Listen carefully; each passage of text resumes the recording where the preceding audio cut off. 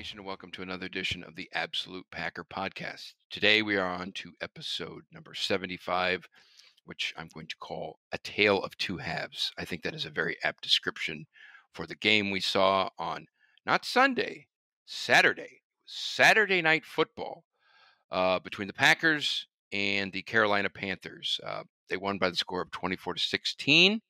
Uh, the game was, you know, awesome. Yeah, this this is true. Uh, the, the, Packers, uh, they look like they're going to run away with this thing. Uh, 20, yeah. 21 to three in the first yeah. half, but then the second half came around and there, I don't wait, know what. There, I don't know what happened. Second half. Unfortunately for this game, there was. If if this, no, it was if, a Saturday game. On Saturdays, we stop at halftime. Everybody knows I li- this. I like that rule. They should institute that right now, this week. Really, they should just let the home team on Saturday nights institute whether they're going to play a second half or not. it's, like, it's like quit while you're exactly. It's the definition of quitting while you're ahead, right? Yep. Um, so uh, you know, it, it was an entertaining game, and with, with I'll say this about Carolina. I think that were they coming in, they were four and eight or four, four and, and four and nine, but they played every opponent close to include us. It looked like we were going to whoop them really good, but then they ended up, you know, within a score uh, if they got a two point conversion. So that team, I think, is better than its record. Um, they still need some help, but um, yeah.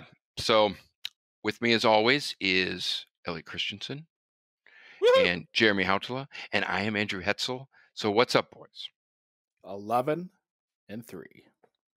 It's pretty crazy. Um, I'll say this: if you would have told me after the NFC Championship loss last year, when we were, I mean, technically we were 13 and four, but we were 13 and three in the regular season.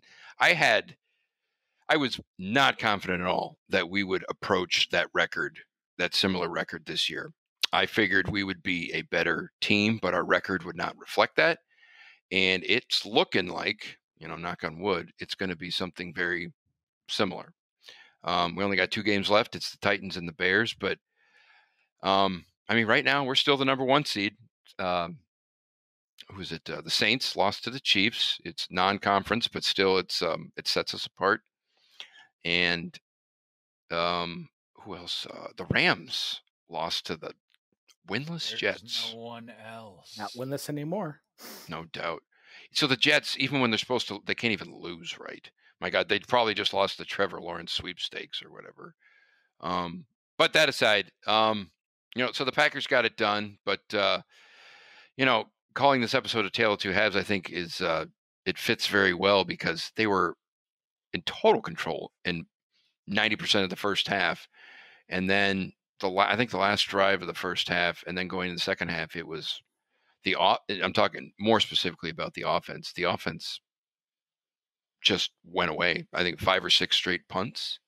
I think was it five or six? Might have been six. Could have been six. Five or six thousand. It's what it felt like. Let's it felt go. terrible. It felt terrible. It really did. Like I, I hate any punts. You know that. Like I want them. I want, I want aggressiveness on offense all the time. Any punt is a failure. Any, it, it, any it punt is. is. a failure. Any punt is a failure. That see, that, is. That's a good T-shirt right there too. I'm gonna have to write that down. Yeah. Any, any punch is a failure. That's just a. That's just a fact. Yeah, that's a fact. Well, we, we, know I you mean, want I, you want to go for fourth down all the time. Uh, but honestly, well, I mean, you feel differently? I mean, is that not a failure? It's always a failure, well, isn't it? The Jets are going to be looking for a head coach this offseason, so. Yeah. Yeah. Oh, now I mean, that. Oh, oh am I up for the job? I'm, yeah, I'm offering you the job. Well, he's auditioning. With, he's, he's auditioning with his fancy pants glasses, I guess. looking like Mike they, Zimmer. They almost look like so. So with those glasses and with the uh, the headphones, the headphones almost look like those ear protector things. So it looks like you're going to pick up a chainsaw and cut right. down a mass. A I'm, gonna I'm, I'm going to be doing this at the airport. yeah, really, Lord. And he's wearing a shirt. what does that shirt say? Chicago something on it? No, it says Chicago's terrible. That's what it says. Somehow I don't believe that, but all right. I forgot to change it you know what? So so truth be told, you know what? You know why I have this? Why? Because I was traveling and there was a there was a snowstorm. I got stuck in O'Hare. Had to buy a sweatshirt so that I didn't freeze to death sleeping in the airport. Did you buy those glasses there too? No, no, no. Totally. I, I don't buy all of my clothes that O'Hare. Yeah, going clothes shopping. I'll see you tomorrow. Yeah, Yeah. but it's totally Drive to ridiculous. O'Hare. The, the fact that I, yeah, the fact that I even have this, like, I would never buy just a random Chicago sweatshirt, but yeah, but it's super comfy. Yeah, Comfort is very important. It was that night. It was talk about yeah, talk about that. It was so noisy. It was terrible. Yeah, Chicago was terrible. I never really want to be there again. Agreed. We don't have to play the Bears at all this year again, do we? Yeah, last, Last game. game. I know we do. Yep. Yep. And you know the funny thing about that, as long as we win that game, we have the number one Yeah. seed. No I doubt. know. I mean, the Titans. The Titans, I think, is going to be. It's a good That's gonna be test because they're. It's it's a good test because they're a pretty good team, and They're Derek- very good. every time I think of Derrick Henry, I'm like, Did you see the guy that he just threw down the ground this oh week? yes, God, This weekend? I mean, he just threw another lion down the ground like Josh Norman. he is. Oh, he is ridiculous. He is frightening. He scares me. Yes, Like, I-. I that's I why I, said it's like he's going to get uh, before the game starts. I'm like, he's good for 150 yards. Period. That's mean, like that's like- like that's like the floor with him against us. I see like Darnell Savage trying to tackle him by the, the shoulder pads and just getting thrown like a rag doll. Here's a good visual. Could you imagine J.K. Scott trying to tackle him? That'll never happen. He might. well, exactly. We do know that, but he might. He might literally run like a little mouse, like flo- No, he- fluttering in the.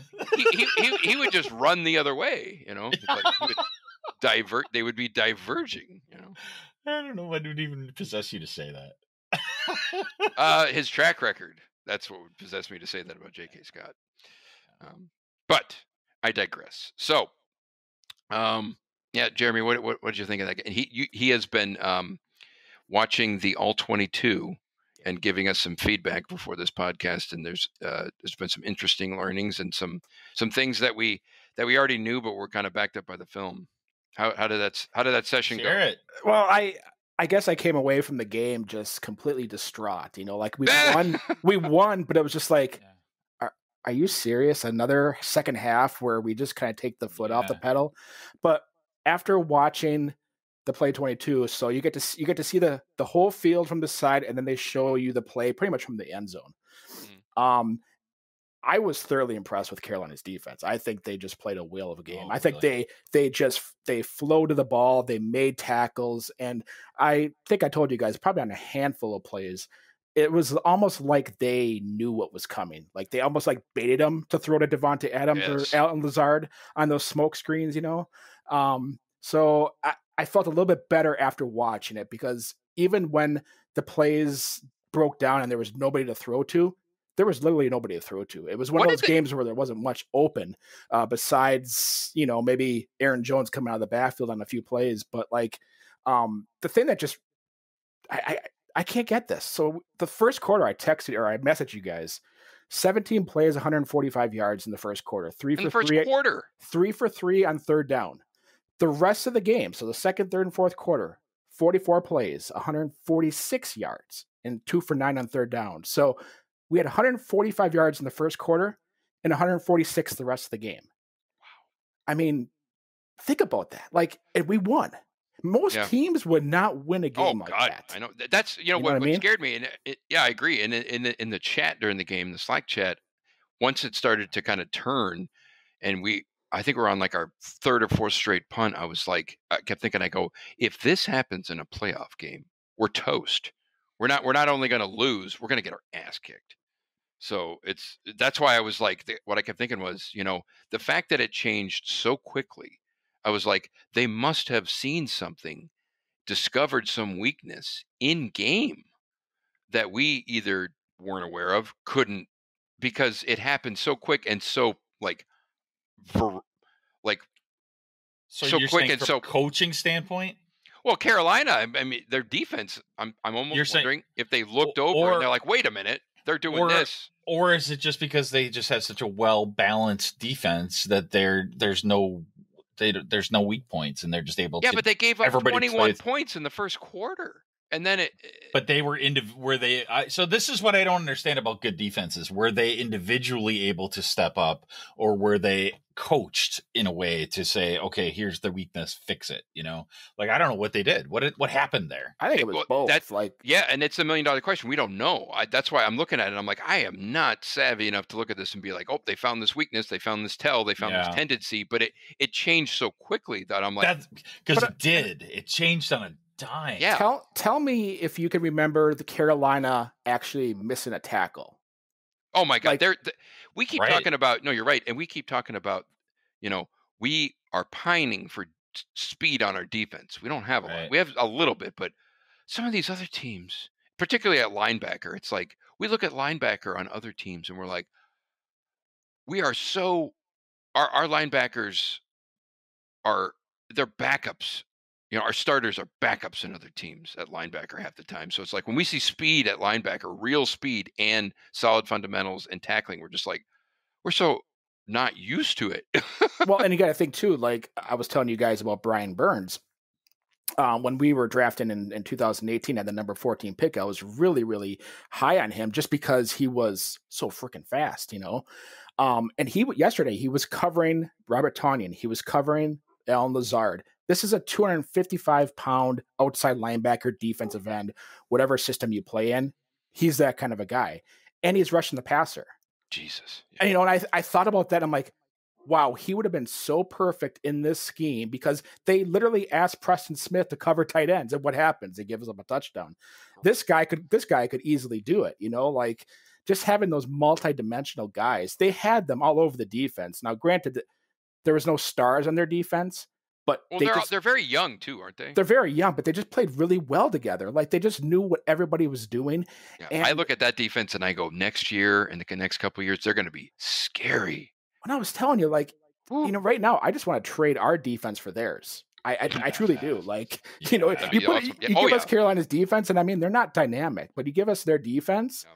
I feel pretty good about Super Bowl and and, and and making that claim right now. Like, I truly do. You know, so um, I I just I came away so impressed with with how that that team played, considering that they're four and nine. But like I told you guys, they lost to K- uh, Kansas City by two. They lost New Orleans by three.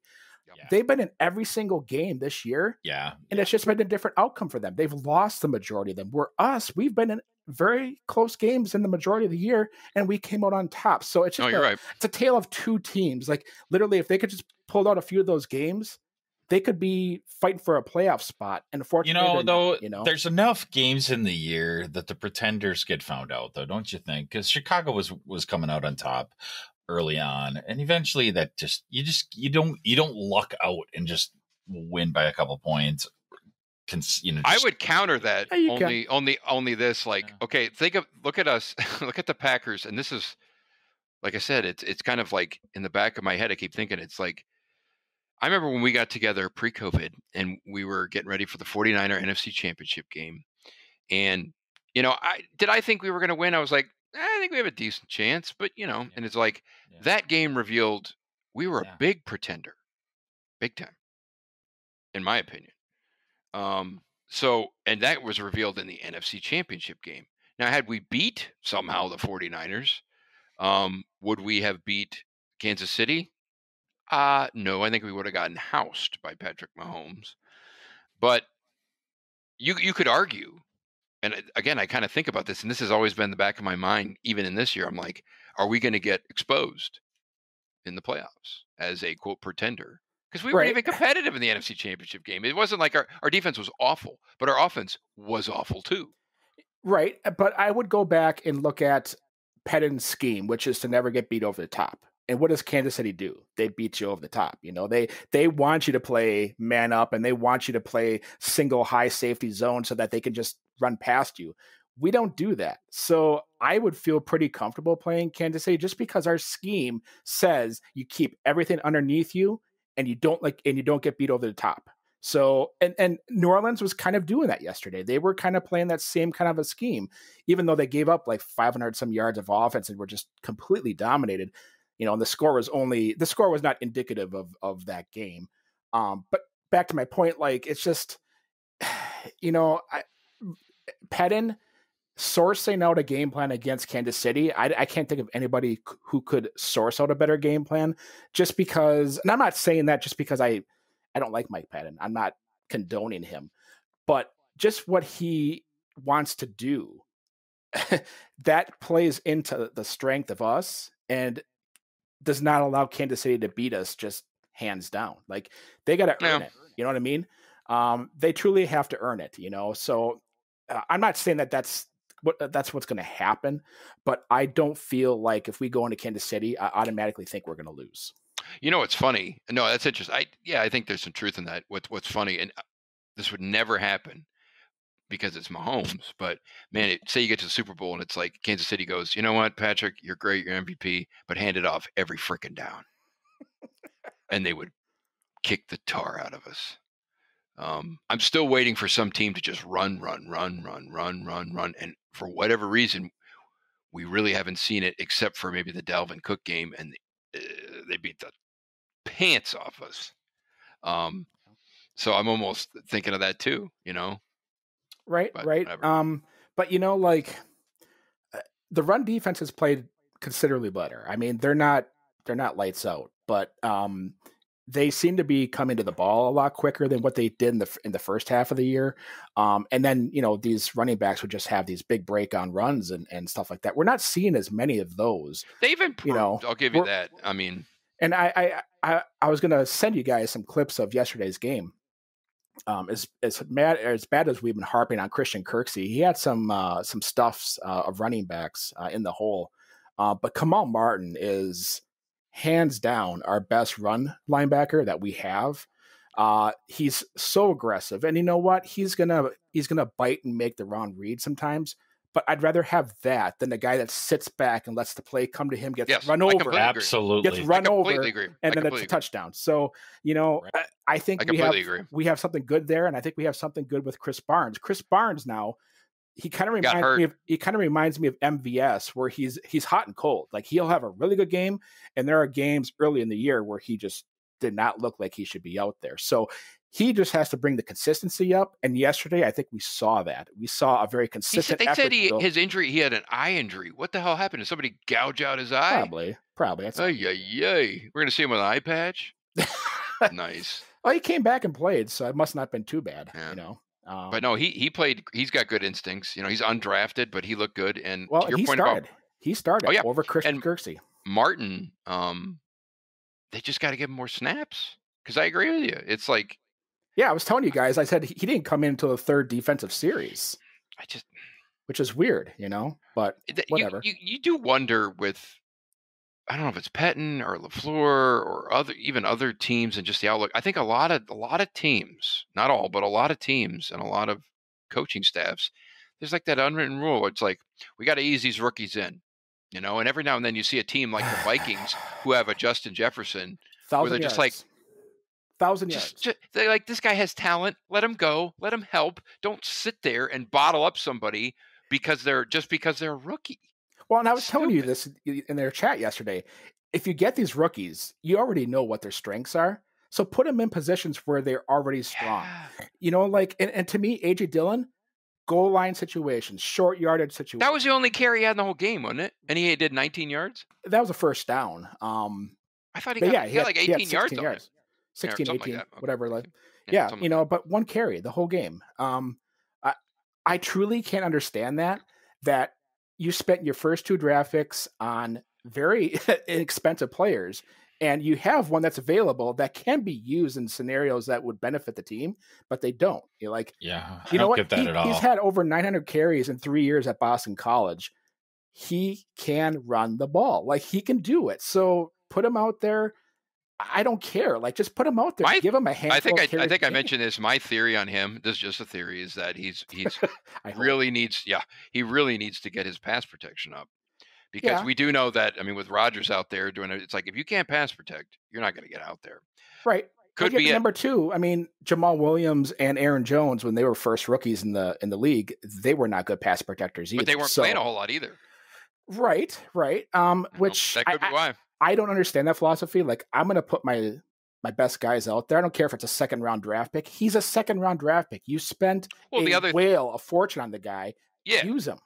And the other thing is, even though like, oh, he can't pass protect all that well. Well, he's a running back. His primary thing is to run the ball. Right. It's like if you draft a wide receiver and he's like, he's Yeah. if you drafted Well- Justin Jefferson, you're like, I'm not going to let him out there because he doesn't block well on screens. Well, and you know Like, what? That's what? why in short yardage situations, what are you going to be doing the majority of the time? You're going to be running the ball. So Yeah. put him out there in those situations. No, I agree. I- That that philosophy of, I think there's just a, a mentality that's still out there where it's like you got to ease these rookies in, duh, duh, duh, and it's like, There's only one position you, you should do that with, and that's quarterback. And as much as I say that I hate that they they drafted Jordan Love, they're doing a good thing with him by just easing him along because uh, when when he was at Utah State, his his sophomore junior year, uh, he had a really good year, but his last year he did not do very well. He threw more picks and interceptions, uh, and, and there was some question about his judgment.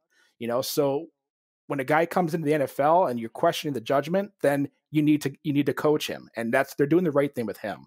You know, but like AJ Dillon, I just don't see why he can't just get more carries, and uh, there's just no reason uh, he's just Saving him for wilting the and wasting on the bench. you know, you know, that's what I I'm was think- hoping for. you know what? You know, I was just thinking of Maybe. remember the Super Bowl year when they won. Remember James they Starks. unleashed James Starks in the Philly game, and I remember like when James Starks came in, he was on PUP for a lot of the year too, though he was hurt. Um, that part of the reason. But when they when I remember watching that game and like the first time they gave him the ball, he ripped off like a 15 yard run, and he looked pretty spry.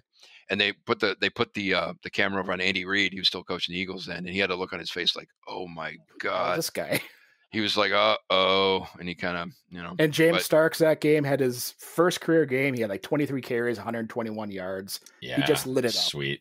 You know, and that was, uh, man, if we're gonna reminisce, baby, uh, Tramon Williams, that was his coming out party when he Mm. picked off Michael The Vick in the end. He had a good game, and then oh yeah, right, right. I'll never, I, I still remember when Michael Vick dropped back to pass and threw it in the end zone, and right when he threw it in the end zone, I'm thinking. Because he still had some time, I was I was like, oh my god, somebody's open, and then I and then I watched it, and I was like, ah, and then obviously picked it off, and that was, man, Tramon Williams. That was fun times, baby. He's with the Ravens now. Yeah.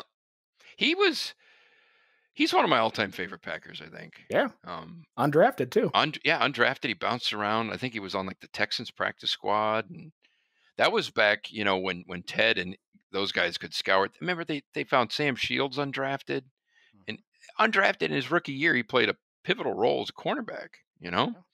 Um man, it was I miss those days. Hey, guess what? Oh my God. It could happen this year. So We need we need more stuff to come together, but yeah, I mean they could go. I mean, Well- obviously they're not going to be a six seed. That helps, um, but I think they they um, and actually th- that brings me to it. Kind of dovetails onto this. So when when the game turned, one thing that I think we all noticed is that the the Carolinas started sniffing out Davante Adams, and that Rodgers loves to throw a lot of quick outs, and you know do he lateral plays basically where they're not going vertically down the field, and Carolina really started to sniff that out. And when that happened, it seemed based when I was just watching with what I could see, not the all 22, that nobody else was really stepping up. Once they shut down Adams and took that away, and the offensive line was starting to get a little shaky, it was like, and on the all 22, I can't imagine a whole lot of people were open, but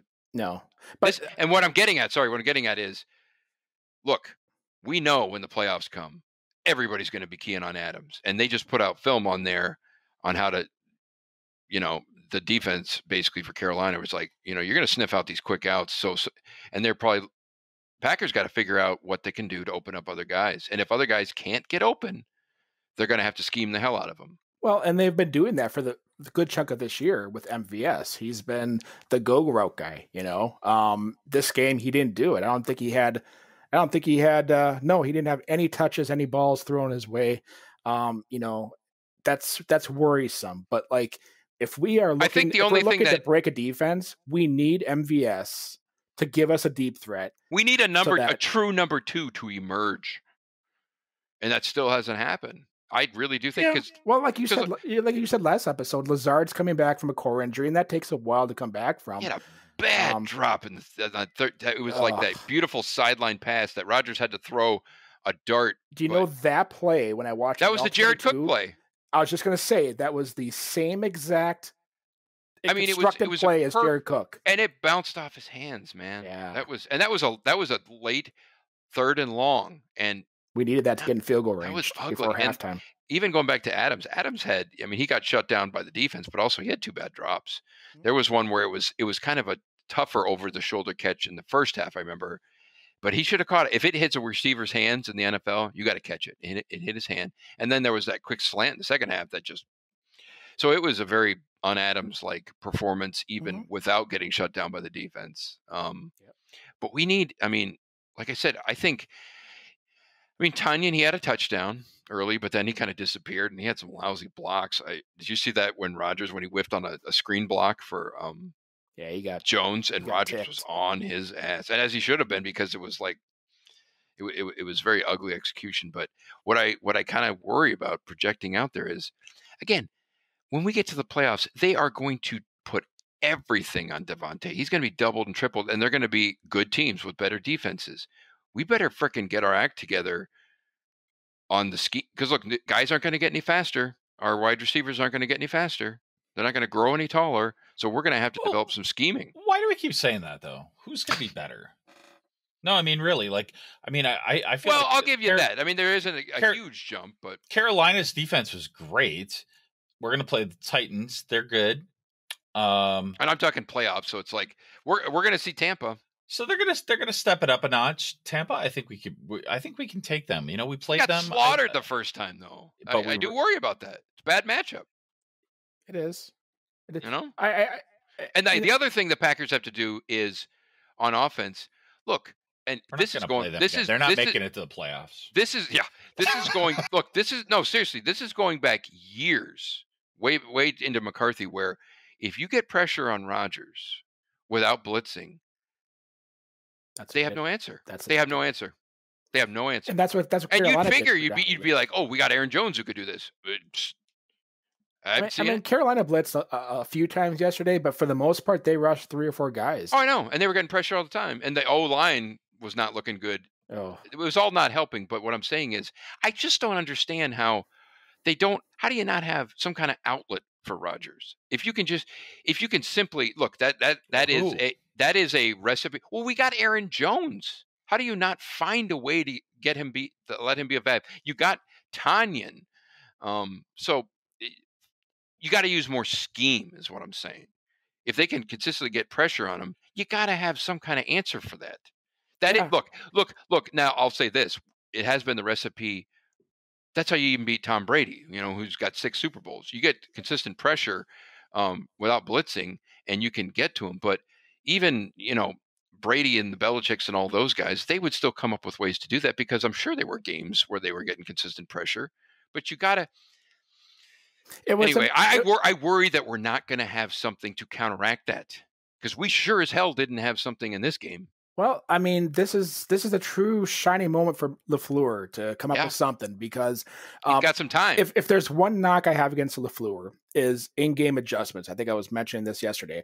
I he- like he comes in and he says, "I'm going to run the ball or I'm going to pass the ball, one of the two, and it doesn't work, and then he doesn't have the ability to adjust to look at the defense and say, "Hey, they're playing a soft cover too. I've got all this these." I could put run routes underneath and get five, 10 yards a pop. Like, you know, eh, you have to look at the defense and figure out ways and look at your play call sheet and say, okay, this play will work, this play will work. But like yesterday, we didn't see that. It was the same thing over and over and over again. And that's the one thing I think that really, I think if he has to improve upon, it's right there. It's in game adjustments and, and being able to see everything on the fly and just interpreting that and saying, oh, you know what? I got the play that can beat that. I, I completely agree. The thing I also I, I do kind of worry about that coincides with that is look again. I made the comment about our guys are going to get faster and taller. I mean, Lazard, he's undrafted. Tonyan, he's undrafted. I mean, they don't have. That's why we want these guys to step up, but they're still athletically and talent wise limited. So it's almost more on on LaFleur to scheme it up because we don't have high picks at those other positions. They are who they are, you know. Yeah, you know, I, I don't want to say that, you know, when you you have all these talented players because they're high picks, you have a better opportunity. But I think on offense, Well, it's, I it's, it's such a razor thin line in the NFL. I'd agree that. No, I just I I mean I think the the talent level is leveled off. So you have two guys on offense that could probably step their game up more so than what they are doing right now. That's Aaron Jones and Davante Adams. Can you say that MVS can do that? Can you say Lazard can do that? Can you say Robert Tonyan can do that? We haven't seen a consistent, um, uh, a consistent like amount of of consistency from any of those guys. So you do bring up a great point that we have not seen it, so we are questioning it. So there's no reason that you shouldn't, you know, especially when you're you're you're you're solely depending on Adams and, and Jones to carry the team and Rodgers, you know. Mm. Um so that is a concern. And yesterday kind of brought a concerning trend for me was because they shut down Adams and because we really don't have, you know, that that unique multidimensional talent, uh, who's going to step up in that that frame and that time frame or that game to, to take over? Yes. And we didn't have that yesterday, you know. So, um, I know, would think the it would be Aaron yesterday. Jones. I Well- would think it should be Aaron Jones. And you know, to LaFleur's defense, I mean, granted, Williams was hurt in the first quarter, but like, I think that was a big deal. It was. that Yeah, a it was. I think it was a huge deal. I, I, Yeah. I And I think the fact that that uh, that Rodgers had to run it a couple times, I think that that kind of showed that. I may, you know, that I think Williams had a lot to do with even the line caving because he's a great blitz pickup guy. Mm-hmm. Yeah, I think that was. I I, like, I, I I- love Williams as you guys know, but I, I I really do think that was a key cog as I look back a day, two days later. Wait, yeah, two days. two days. They all seem I- the same, right? yeah. And Um, I don't want to say that they collapsed, but they really did. I mean, like, so one player is out, and the the whole the Yeah. whole offense just collapses. Well, Like, Jeremy, I that's think you mentioned that, and I asked it if in the second half they were giving more help to the line. I really don't think they were because they want to still run their same scheme, and the more guys you you you, you leave home for the line to help to help out at the line, like tight ends you chip and wide receivers, they can't go out in the pass pattern. So there's that give and take. And so I kind of understand that. And that also makes me think, man, they normally would rely on Williams to Yeah. be to do some of that. well, And he so to your to your point, I was just going to say, um, I can think of two plays at the top of my head where uh, Marcedes Lewis knocked uh, the defensive end on his butt, nice. um, and and it was it was a pass play. Like he literally was at the end of the line of scrimmage at the outside tackle, and he was taking off, and then kind of just threw his hands on Brian Burns and knocked him to the ground. Those are the things that when you're talking about, you know, did they help? Did they, you know, give any help to the tackles? Uh, did they? they? A few times, but it wasn't consistent. You know, Yep, like, yep. and that that was a Mike McCarthy staple. Was he wanted his tackles to pretty much be an island to protect it? yeah, he um, never gave help. Right, and Ever. you're kind of and you're kind of seeing that with LaFleur's offense, but LaFleur has a tendency to help more, Yep. you know, when it's needed. But um, you know, they really haven't had to do that because they've had Bakhtiari and Bulaga for so many years that um, you know, they never had to help their tackles. This year, on the right side, they've had to help a little bit more, and that's where Marcedes Lewis has been uh, blocking a lot and and knocking guys on their butt. Yeah. Um, yeah, even I mean, look, Bakhtiari got whooped a couple times in this game.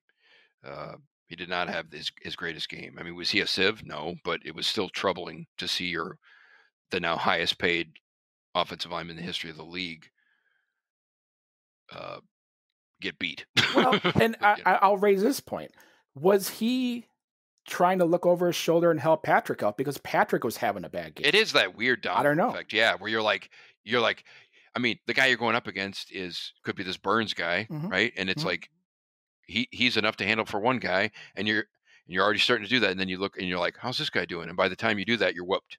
Well, By I the time mean, you even think that, you're whooped. and that's what Carolina was doing. They were taking their rookie Derrick Brown, who's a massive dude. I mean, he's 6'5", 330.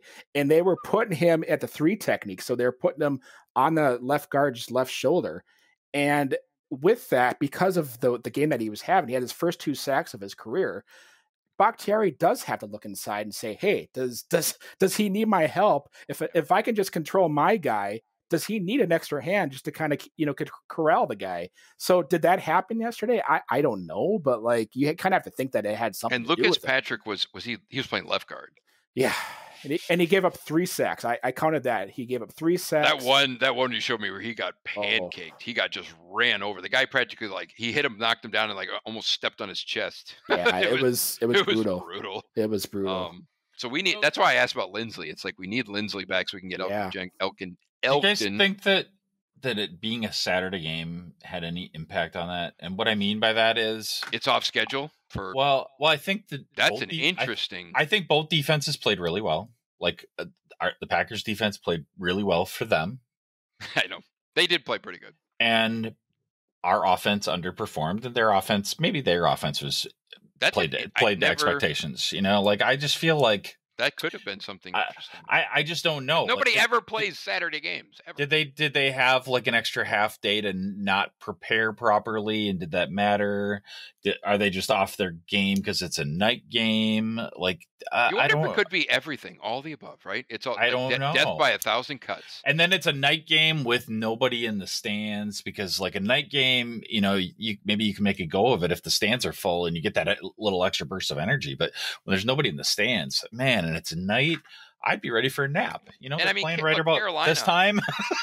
I think you know. I think there's even something else to be said about that. We we look. I think we've even said in the chat too during the game where this team. I think it's safe to say it lacks a killer instinct. It just does. Even when I mean when they're up by three scores, they don't seem to want to bury the other team. It's almost like they do. In general, pussyfoot around, and this was the first time they've been pussyfooting around, and it really caught them. Where it was like it, it just went from really good to just and talking about the offense. Um, I don't know. It was, but it, I guess one of the saving graces is it happened now, so we still have some time to fix it.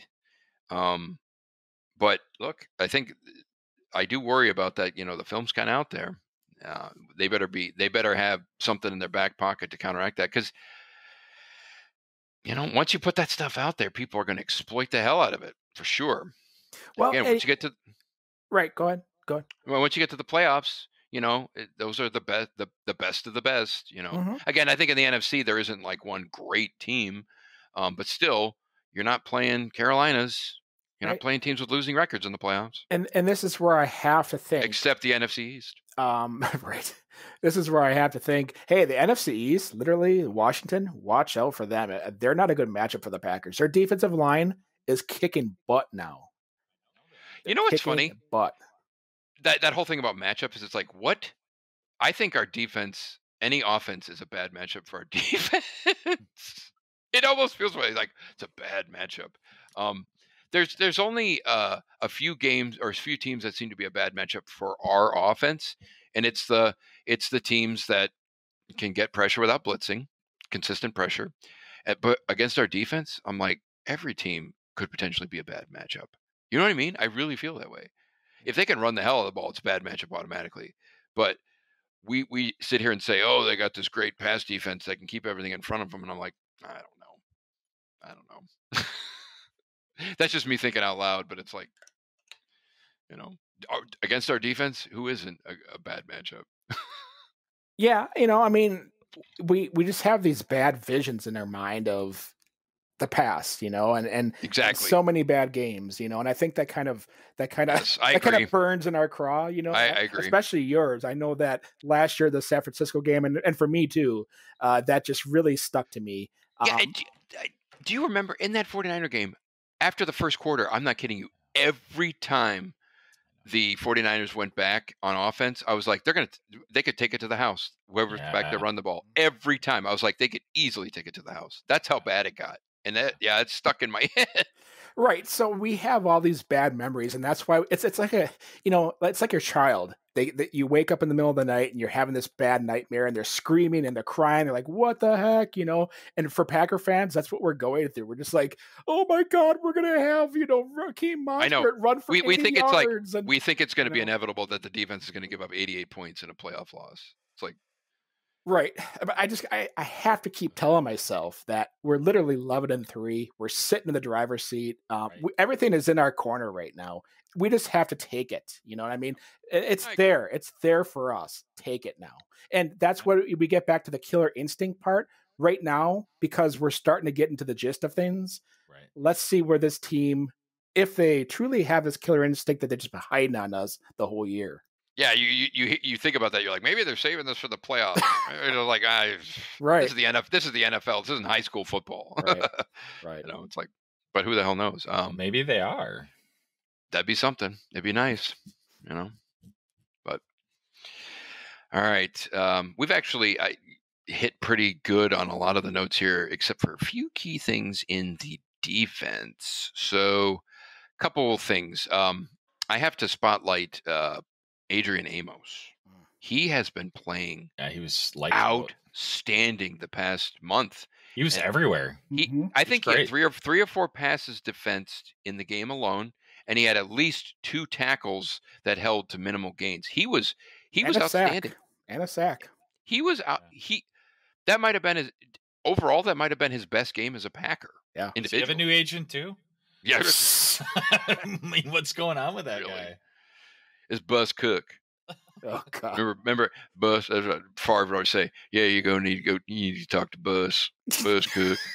That's Bus Cook. Bus or buzz? Bus Bus No- Cook. nobody knows. And- and he who did he he look Bus Cook he looked like he looked like a used car salesman from He the did. 1980s and he had a thick old southern accent it's like I just loved I, I could just imagine seeing him walking into the Packers office like negotiating for Favre's big contract and like goes in he goes all right here's what you're gonna do you're gonna write a check for about a hundred million dollars and I'll see you next year and a John Deere tractor. Hmm. Buzz Cook. Yeah, that's Buzz. We talked to Buzz. Wow. Okay. Enough of the impressions, right? Um, but yeah, Amos. I don't know if you had a, eh, what what.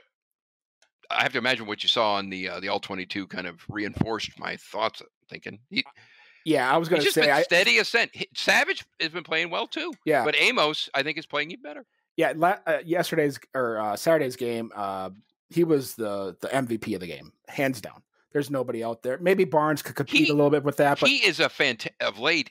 It's like if I was somebody teaching tackling on this team, I'd be like. he's Watch what Amos does. He does not throw his body around. He comes in with purpose and he wraps the hell up. Mhm.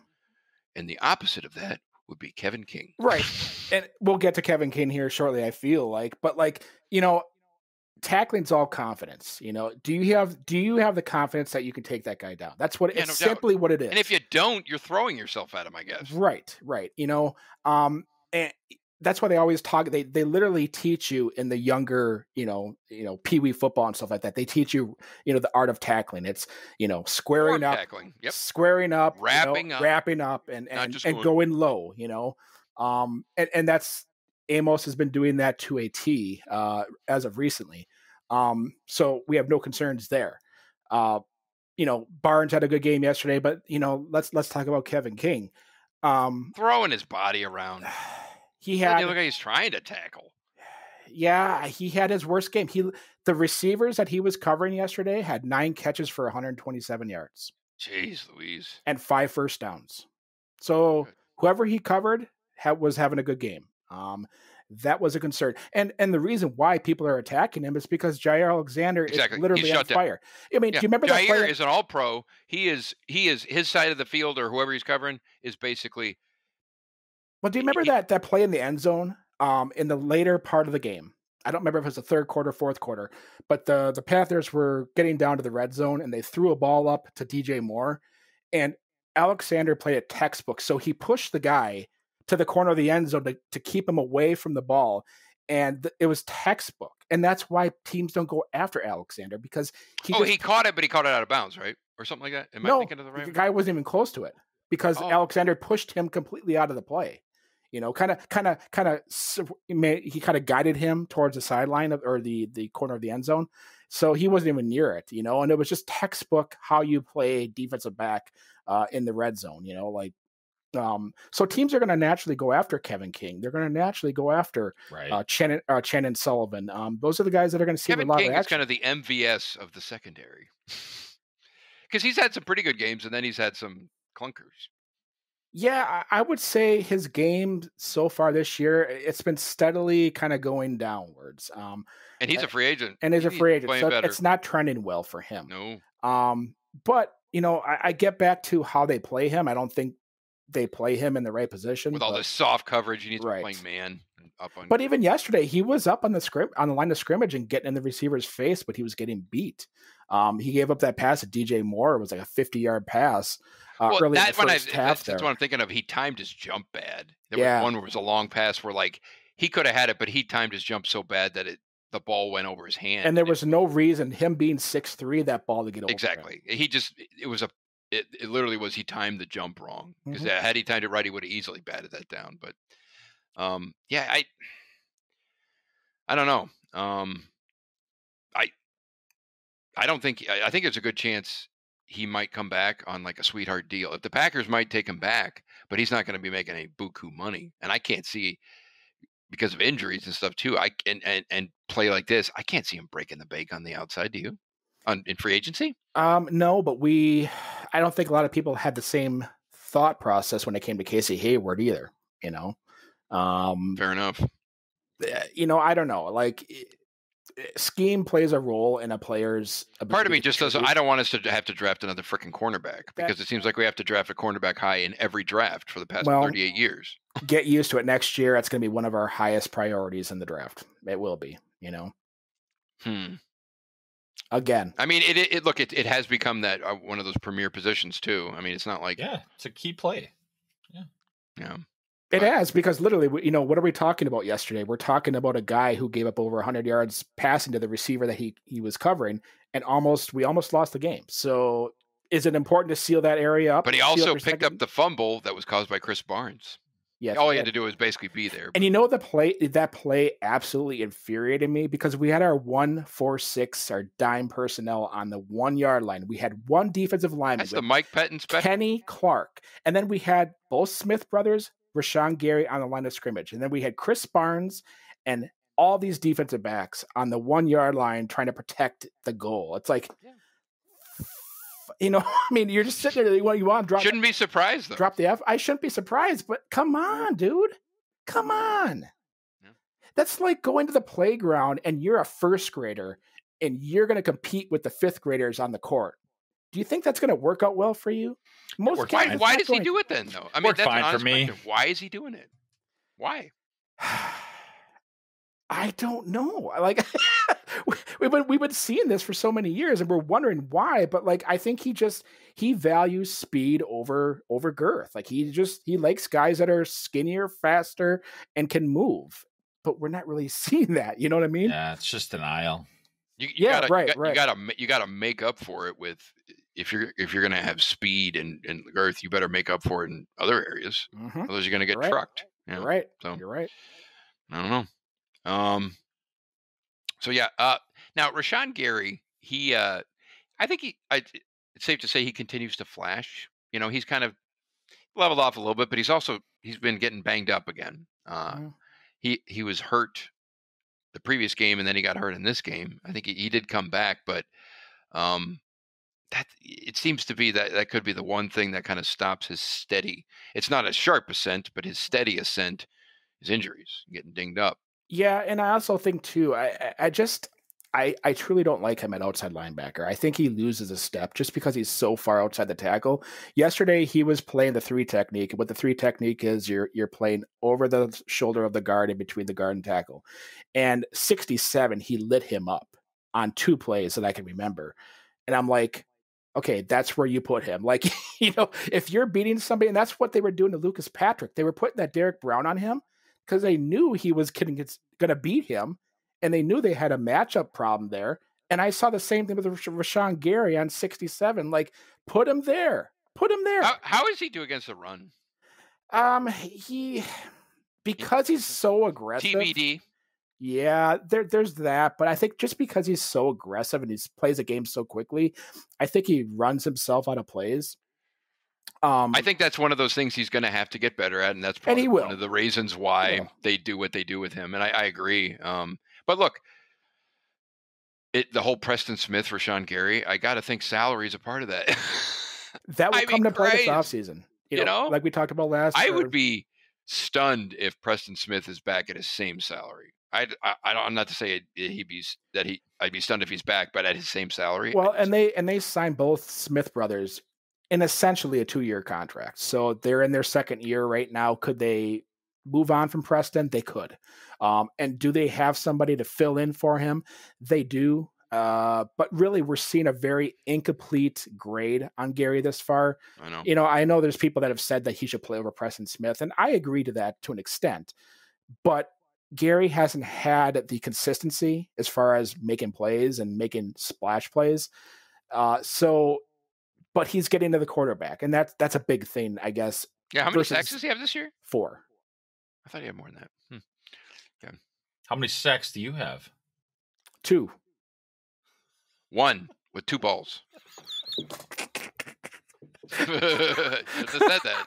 oh my god, It's pretty good. I'm editing. I'm not editing that. I'm going to edit you out of the entire. Uh oh. Editing you out. Nice. I'm going to just put a giant X. I'm s- I'm sorry. Gary has five sacks. Oh, see, Oh, see, we knew there was more. we knew there was stop, more short, sacks. stop short. Um, okay. So special teams. Um, Mason Crosby. What can you say? Elliot's boy has been Yes. outstanding. Hit a 51 yarder clutch in the second half. I mean, he hasn't missed a field goal. Happy to be wrong. Um, he's the bright spot on special teams. Period. End of story. Um, and hell, hell, I'm I'm happy we got him. Um, now J.K. Scott, I guess, punted a little better, but then you know the uh, the the Benny Hill theme that is the punt return slash punt blocking unit. Um, they almost got another one blocked when Oren Burks completely Yeah. Did like an ole on a um on a punt where it didn't get blocked, but we were pinned back near our goal line. Um, and you just you can't have that. But you know what play irritated me more was when their punt returner caught the ball at the goal line. And we And he had still brought it out. Yep, And they brought it to the 20. And I'm like, come on, you got to Yeah. be able to wrap him up and get him down right there. I know. I look I- our our, I- our, our kickoff return units and punt kick, kick and punt return units are not good. They're not. I, I even said it when he caught it. I'm like, oh, there's a good return. at the one yard line. He gets out to the twenty. It's stupid. Um, now you did send out a uh, a screenshot or a video where they we had a few starters though. I think I think that's what you were pointing out. They had who was it? It was Amos. On our punt coverage, we had uh, Adrian Amos, Robert Tonyan, Allen Lazard, um, and Krys Barnes. Mm, So I mean, maybe we'll see and more Kamal of Martin too. I forgot about Okay. him. Kamal Martin, I could I could still see him playing special teams in general, just because until he gets elevated to basically starter. But And our gunners right now are Equanimous St. Brown and um, Will Thurman or Will Redmond, Redmond. Sorry. No, Jags, yes, I mean Redmond is ESB. I mean, did he do? He didn't do anything. He didn't have any targets on No. offense or anything. He hasn't been involved in the offense for a long time. Well, he had a cou- I mean, a couple weeks, but he, he was getting. the- He's not an integral part. Um, maybe he'll have a coming out party in the playoffs. That's what they need. They need those those types of players to come out. They really do. Yeah.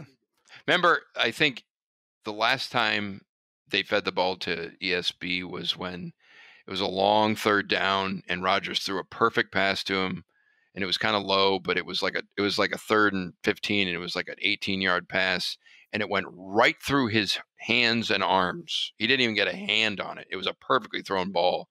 I think that was the last time he got involved in something and it's what third year player?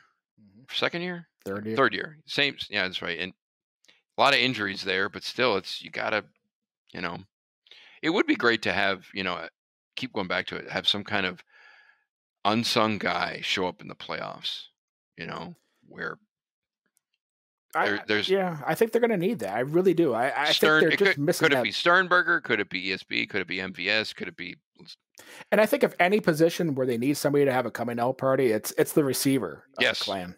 You know, i i, I agree um i mean tonyan's their tight end so i'd be shocked if it was um sternberger but i think between mvs lazard and esb they need somebody desperately to and in the playoffs you just need one game you know i mean it'd be nice to carry it or whatever but um they're ripe for it So, Mhm.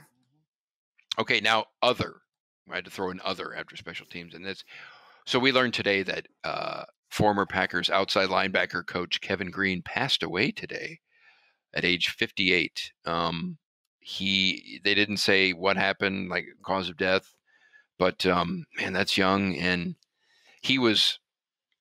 I, I think we'd be selling him extremely short if we said he wasn't. He was instrumental in the development of Clay Matthews. Won a Super Bowl 2010, and he had that famous old speech. It is where he is pulled him aside. Yep, man, that's that's like movie stuff right there. is. You know, Yeah, It is. Yeah, um, It and gave, he you- was it gave you it gave you it gave you goosebumps to Yeah. listen to that after they won. You know, Yep, and it is. Um, he was a he was a fun guy. You know, he was pretty like you know pretty seemed pretty genuine.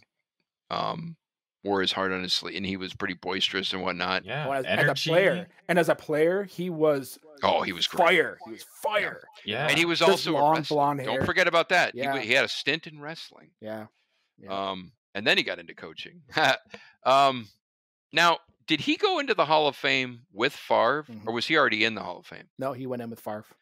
Because I do remember too when Favre was um, giving his speech and he was he was jawing it up with um with Kevin Greene about you know chasing him down and stuff like that. That was that that's kind of cool. And it all look. I mean, we're not we're not ancient here, but man, when you see that kind of stuff, it's like we are getting older. And when guys, he was young, fifty eight. You know, like, man. um, yeah. That I don't know. And that's it's it's going to be interesting to see what happened with him because yeah, he's just one of those guys you look at, you think they're indestructible. You know what I mean? yeah. right. He, he took care of himself. He did everything right. It seemed.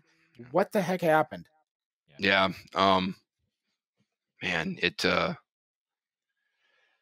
I don't know. It's it's just weird. And it the time we're in, I'm gonna get all philosophical. but you know, with, with with COVID and the lockdown and this and that, and it's just like I don't know. And that was it's it's been ten years since that Super Bowl, man. It just it's it's crazy, you know? It's like, do you remember um when Reggie White died? that was like the first that was not the beginning but it was like one of those things where it was like that era it was like that guy was gone he was the first of those guys you know Well, and, and it was what was it like 2001 in sleep apnea or something like that 2004. I. I was on vacation with my family in uh, cancun. When that nose broke and it was it was just one of those weird i mean reggie white obviously different than kevin greene but both packers and it's just that i have a kind of a similar you're just like whoa really young. dead from from the from the su- cause I guess because Kevin Greene was from Super Bowl fifty or forty five, excuse me. Um and and um and and White was only I think forty three. yeah, he was even younger, obviously, but uh sleep apnea is what got Yeah. um. But yeah, And I, I wrote a blog on on on hit um Aaron Rodgers draft status and what, what when he went through. And when Favre was talking about retiring in 2004, uh, on top of of uh, Favre's wife getting breast cancer, the other thing was losing Reggie White because him and Favre were really close, Right. and it was it was such a a draw to his emotions when. White went down, and that's why he was like, "I'm I might just hang it up. I'm done. Like I can't take it anymore." You know, I do remember that photo of Favre being a pallbearer at Reggie White's funeral when they Yeah. show him like holding the casket. It's Oh. that stuff's it's weird um and it's just when when those special when when either players or coaches from those special times pass on you're just like you're instantly like oh man you know and it remi- like i still i can't believe super bowl 45 was freaking 10 years ago it's crazy oh yeah, I can't either. Yeah, we need another Super Bowl. We've been yeah, this yeah, has been too long. yeah. Every I'd be I'd be happy with every decade. You know, I mean, And I- you know what's what's crazy on that note too about you know getting another Super Bowl. I I distinctly remember having this conversation. We went to the Super Bowl. My my dad, my family, and I obviously in, in Dallas. And after it was over, we were hanging out in like some lounge in Dallas Stadium, and we were you know celebrating all that and yada yada yada. And me and my dad got talking. and said, "Man, it's like we are still just we are just hitting it. We're gonna." And we were convinced that we were going to go to all these Super Bowls, you know. Know. But the same thing happened with the Packers Yeah. during that era. They went to two, but then they were. It's the same kind of a thing where you're like, man, they're in their prime. You got a great quarterback. You got this, that, the other, and you know we're yeah. we're gonna go to and man, nothing is guaranteed. nothing is guaranteed. And, and talking about that 2011 season after They're they all talking about Bowl. Mahomes like that. I right was now. just that's where I was Oh. just gonna go. saying that. You know, like, like, "Mm, 2011, we're 15 and one, and and you know, everybody was riding our coattails, like they're going again, you know. And then all of a sudden, Yeah. I, I every time I see that with Yeah. Mahomes and them, I keep thinking the same thing. Yeah. Like, Man, this reminds me of 2011 to Yeah. Yeah. Yeah. Um, Well, let's take it away from him. Exactly. I would love nothing more than to beat them in the Super Bowl. Holy cow! Um, yeah. That would be really cool. Yeah. I, I would like to do. And we could hem and haw about, oh, not like I, even I said, I was like, oh, they they trounce us, but it's like, well, you got to get there. yeah. Let's get. You, you can't get trounced unless you get there. Yeah. Yeah. So, and yeah, I also, you know, that whole on that same thing about you know thinking you're going to go to all these Super Bowls. I remember going to the playoff game in 2011 against the Giants, the divisional round. We were 15 and one and all that, and I remember going to that game going like, it was like an afterthought. I was like, all right, let's get to the AFC Championship game, and then in the third quarter, I went, we're going to lose this game, and how quickly that whole thing turned but literally walking in the stadium going, eh, you know, it was it was already a foregone conclusion And that that that we were going to win and we were done. And then, in the, like I said, in the third quarter, I just remember sink, sinking feeling, going, we're going to lose this game, and we're going to we're, we're going to piss away this opportunity. And you remember that how that season ended. I mean, the last two games we pretty much let all of our starters rest. We didn't play that much. And then we get to the playoffs, we have a bye, and we were so rusty in that giant game. And we were like, what is Aaron Rodgers doing? Like we were seeing him missing passes that he's never missed. You know? The So- other thing that never gets talked about is that the week of the week during was when Joe Philbin's son drowned, died. Do you remember that? Yeah. the week of that playoff game and it i remember mccarthy coming to the podium and he was crying hmm and he was just it was that was nobody really talks about that but i distinctly remember that and that hung over that team that hung over that team That's big time. i think it did Yeah. because it, it didn't happen like it happened during that week it was like wednesday before the game is when when he he drowned See, Yeah. from the outside, you know, we're so disconnected from that. Really, like I didn't, I didn't have that connection to that. Yeah. i mean i didn't have a connection but i remember that No, but I, And I don't. the press conferences and it I yeah, I, I don't remember that. it cast a pall over that. I, but I remember it being sure. around that time. That must have yeah, been. it was in it was in week, wow. Yeah. Wow. and I think it was I think his son had trouble with they might have had substance abuse things or whatever, but I'm pretty sure he drowned. Um, it was it was really really sad and sucky, you know. Um, yeah. So, but yeah, things are just so fleeting. So you just gotta gotta get it while you can, right? Well, you know what? We just we really need just a, a shot. Like we need a, a shot of adrenaline. And I feel like if we can just get to the Super Bowl and if we could just win it, uh would would 2020 be in our afterthought? Like, you know that what I would mean? be nice, right? What a, what a way to cap off 2020. Right. the the worst year in the history of our lives by a Right. pretty sound margin. Um, yeah, that would um, we deserve it. I think so. I think All so. right, you guys Kansas have City doesn't deserve it. you We guys do. have predictions for the the Titans. Oof. Ooh, is this is this in Tennessee? No. Lambeau on Sunday Night Football. Does does it matter? Yes, it does. Um, when we go on the road against good teams, we get waxed. No, um, man, uh, I don't think. I'm not going to say 30 points. I'm going to I'm going to predict we will win, but I'm going to say it's going to be 27 to 24. I think the offense is going to be better. I don't think it's going to. I think it's going to be better than what we saw, but yeah, it's going to be tight. Yeah, I, I I think I say every week I don't like this matchup, but this this one I really don't. I I, I uh, truly don't. Derrick Henry. That's all I can think about is Derrick Henry. That's all I think about it. Yeah, I think about Derrick Henry like some men think about the hottest hottest woman out there. You know, like whoa, Oh whoa. Well, okay. Well, we were talking about sacks and things earlier, so yes, and uh no, I, I think I think what you're getting at is that he, he is scary. Yeah. All he's a beast, you know, and that uh, we haven't. Uh, we had difficulty yesterday or Saturday tackling a 210 pound running back. So um, we have trouble tackling anybody. True story.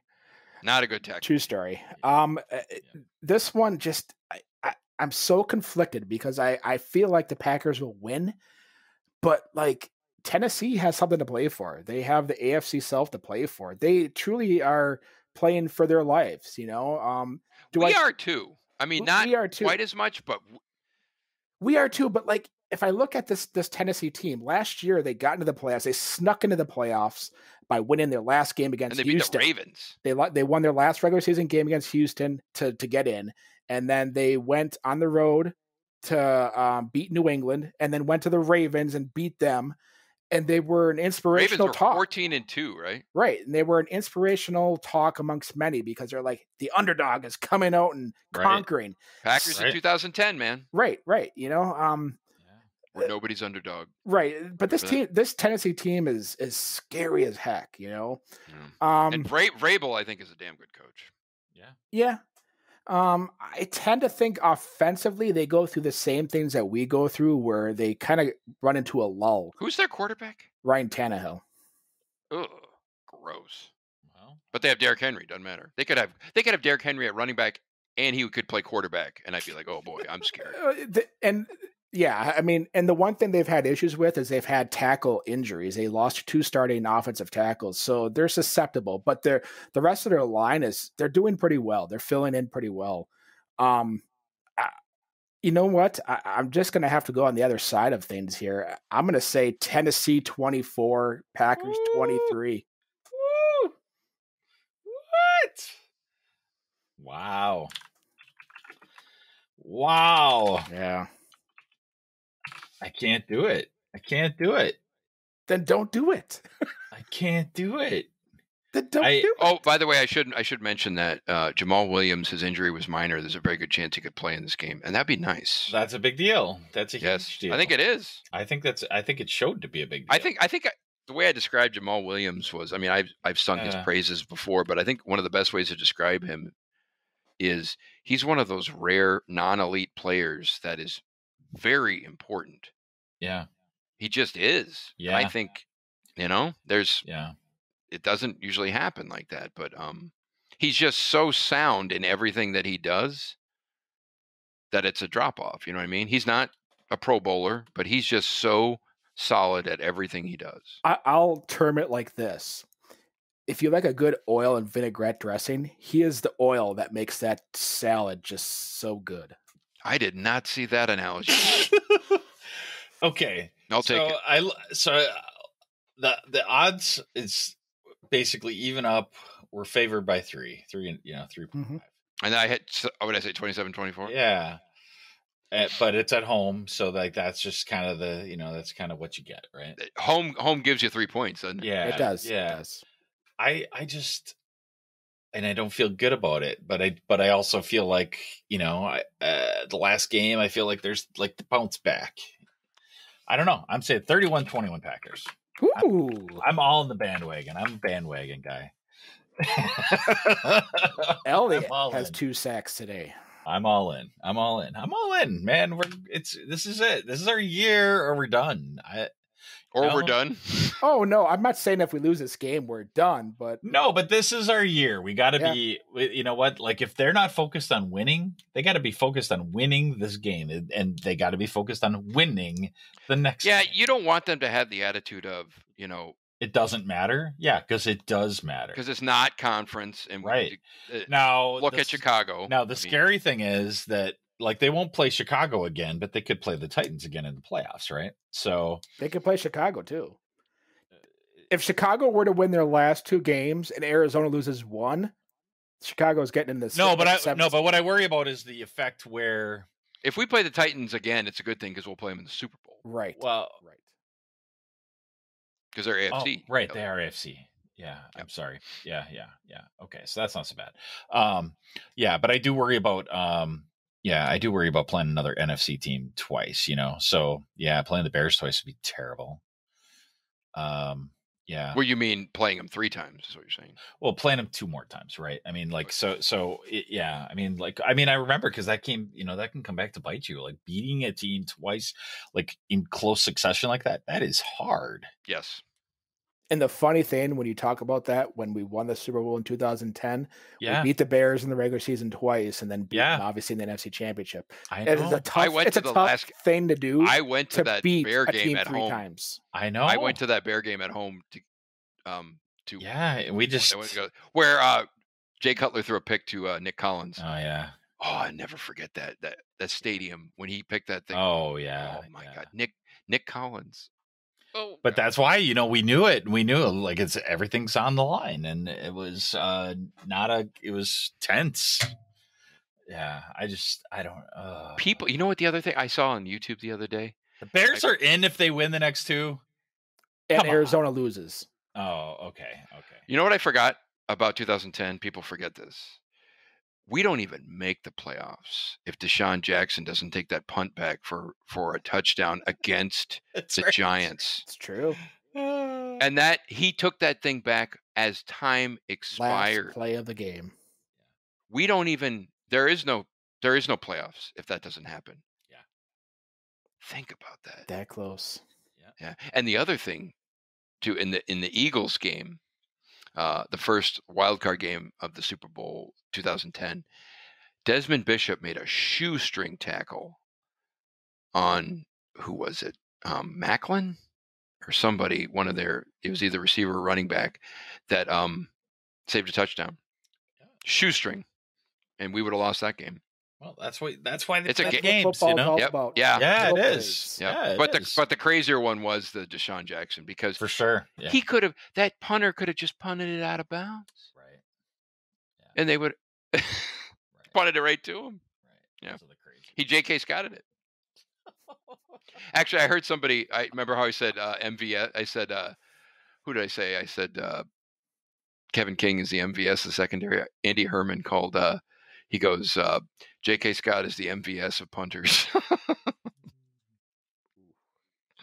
Interesting. All right, are we good. wrapped up or what? Yeah, Going off the rails, Andy. I've been off the rails. Actually, I deleted him at the beginning of the podcast, so nobody even nobody else is even hearing him. By the way, Nice. yeah, he's xed out. Two sacks. This is really just the Jeremy show. There's an, hey, there's another. There's another T-shirt. you, you, you're gonna have a lot of you're gonna have a lot of Man. t-shirts for sale that Oh have my one, God! that have This one is- sale. Wait, this is funny. I have to tell you, and I have to tell you this in the podcast. It's funny. It has nothing to do with this, but it's very funny. So, do you remember when Tesla came out with that uh, truck, or I think they're still coming out with it, and it's like all angular, whatever. Yeah, yeah, Um, yeah, yeah, So somebody somebody came out with this fake ad for you know those truck nuts, yeah. and they it was like they were like polygon, like square looking. it was. I'll have to send it to you in Slack. It was hilarious. Oh my god. I'm not doing it justice describing it. Seeing the picture is great. Yeah. Well, you know what? We're gonna switch to Discord, and then your fans can be in the Discord with you, and then they, oh. yeah, th- there can be lots of inside jokes Yeah. Next book. time. Next time. All right. Yeah.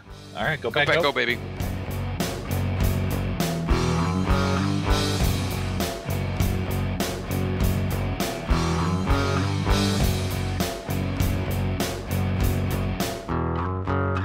Podcast, podcast. Chair. I know, right?